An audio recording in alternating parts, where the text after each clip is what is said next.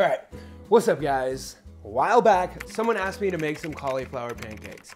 I don't know why it's taking me so long, but today we're gonna do just that. Seven ingredients, less than 15 grams of net carbs, fluffy, the most important part, they actually taste like pancakes in three, two, one. All you need for this one is a food processor or good blender. This food processor is usually around 20 bucks shipped, and I've been using it for like 10 years. I'll link it below. Okay, start with around half a head or 200 grams of fresh cauliflower. If it's not fresh, it's almost guaranteed to have too much water in it and the recipe won't work, so keep that in mind. Next, add in a fourth a cup of coconut flour, around one scoop of protein powder. I prefer either 100% whey or lean pro-8, and chocolate or vanilla will work great. One tablespoon of a sweetener, half a teaspoon of ground cinnamon, nine tablespoons of liquid egg whites, and a fourth a teaspoon of baking powder.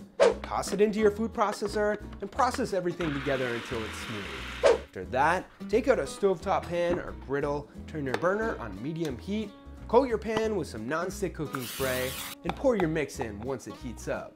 You should cook each side for around two minutes and they should start to fluff up almost immediately.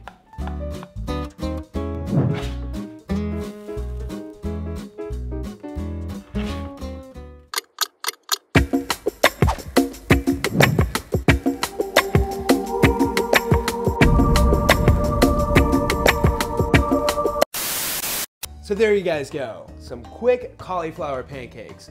Hopefully you like these as much as I do. If you want to check out any of the Labrada Nutrition products I use, you can do so using the link below.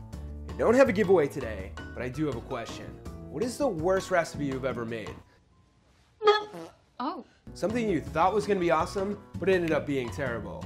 Let me know in the comments below or on Twitter at The Protein Chef. With that, thank you guys for watching. Subscribe if you haven't already turn on notifications so you never miss a recipe, and of course, stay healthy.